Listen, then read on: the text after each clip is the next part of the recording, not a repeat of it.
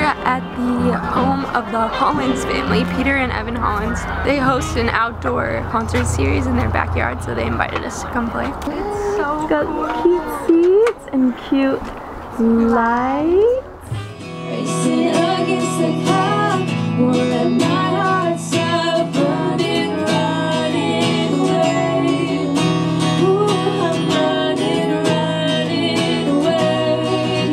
So we are here with Maya, one of our favorite people in the world, one of our greatest supporters. Maya and a group of really awesome gardeners. They're just always really sweet to us and really great to us. And We've known about these people for so long, and so it's so cool when you're able to Yeah. actually meet them because we've talked yeah, for we know you like look a like. few years with some of Yeah. these people, and so and we get letters and we write back, and so it's like a pen pal or like a long lost friend. So when you finally get to meet them, it's like, oh my gosh, here we are, I love it. So she's with us. Yay!